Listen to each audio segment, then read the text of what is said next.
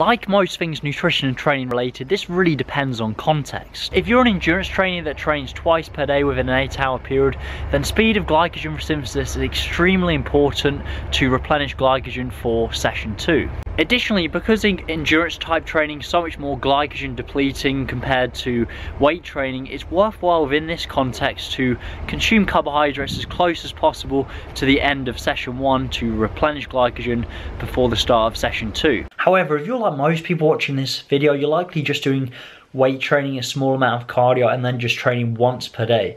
Within this context, as long as you consume sufficient carbohydrates in the day, glycogen resynthesis will take care of itself by default at the 24 hour mark prior to the next session. As such, within this context, getting in carbohydrates as quickly as possible after your session isn't as important as long as you focus on consuming sufficient carbohydrates before the end of the day.